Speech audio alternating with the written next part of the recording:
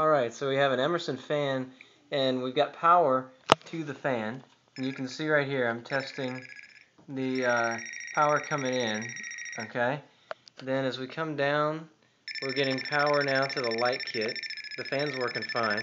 As we come down through the light kit, I'm getting power here. But once we go inside the light kit, if I can get in here and look at the same time, um, we don't get any signal inside the light kit. I know you're not seeing anything there.